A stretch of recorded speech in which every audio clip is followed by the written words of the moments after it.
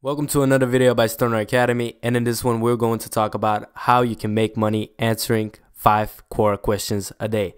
It doesn't have to be just five, it can be more, it can be less, it is up to you. But on my screen, I'm going to show you how you can get your best answers out there, how you can show your answers to the public and later on start your journey there. So as a writer, I have an inspirational story for you guys because I know an influencer that started his journey on Quora. He started writing answers there and he got uh, really good with it to the point where a lot of big time newspapers like New York Times are asking for his articles or his answers on Quora, which is really good.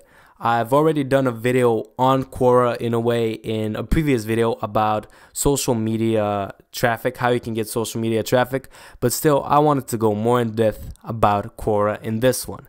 I hope you enjoyed. I hope you like it. Leave a like, subscribe, do anything. Enjoy the video because now it's time for the intro.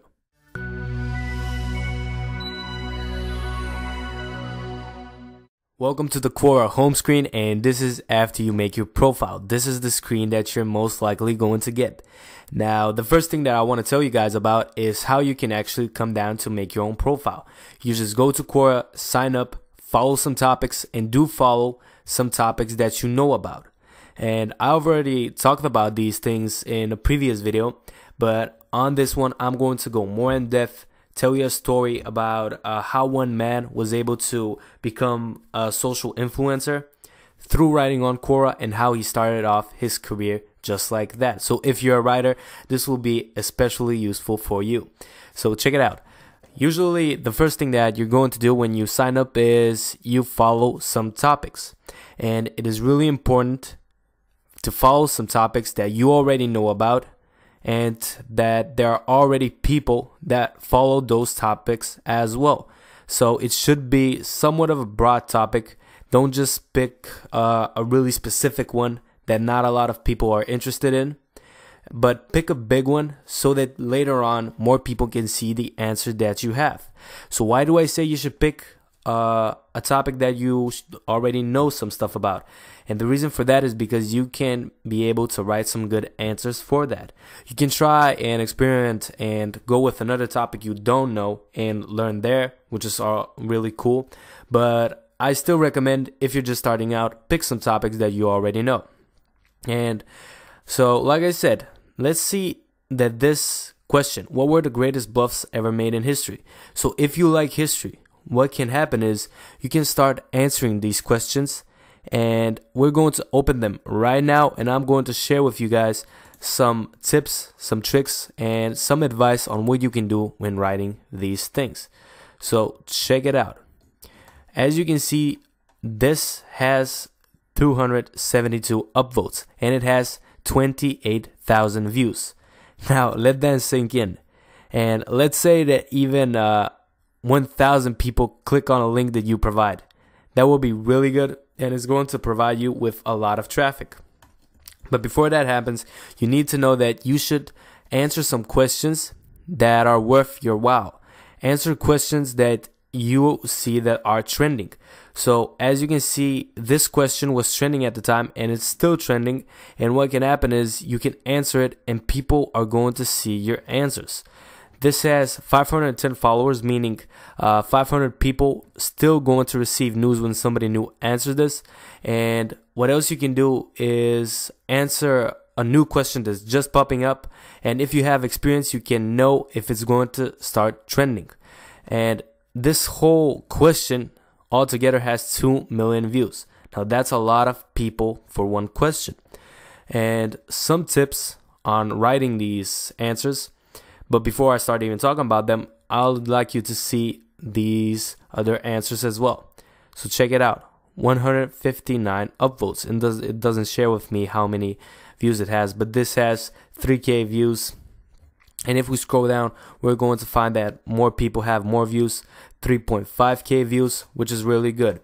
Now, what I recommend you guys do when writing answers to these questions is you write them as in depth as possible and write them so that even a two year old can understand the question and give them something extra. And also write to them, uh, try to find your writing style so that I know some people that are writing answers to where they're actually talking with you. So it looks like a conversation somebody's having. And I can't stress this enough that you should keep on uh, posting or writing quality content in here, in here, quality answers. That's the gist of it.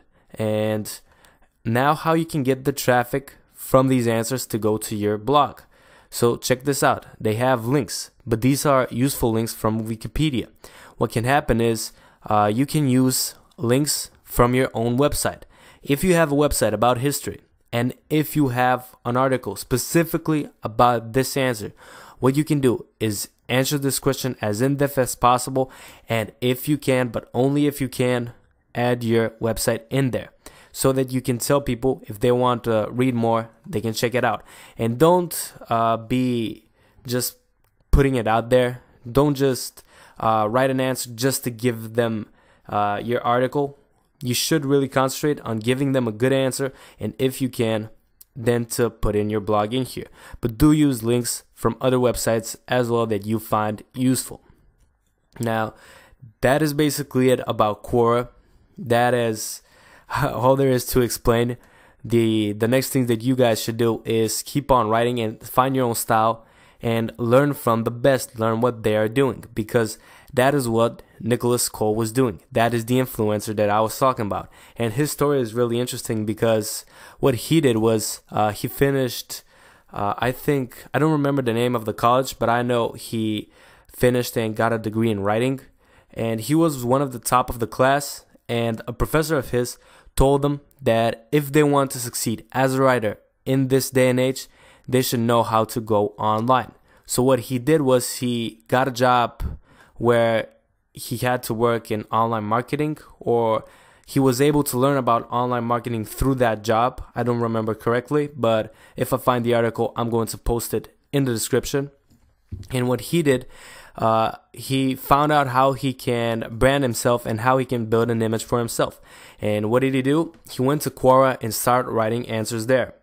He wrote really good answers, and they were truly like articles and he would uh, really look at what the best were doing and he would try to copy that and try to learn from them and learn from his mistakes as well. And what what happened in the next few months because he was a good writer even before he joined Quora is his articles let's say articles or the answers that he posted on Quora they were uh, published by some of the top newspapers in America. And that's how his career started going he saw that uh, he can write even more content and he really concentrated on that to the point where uh, news sites were asking him if they can get his answers from Quora to post on their website and on their newspaper.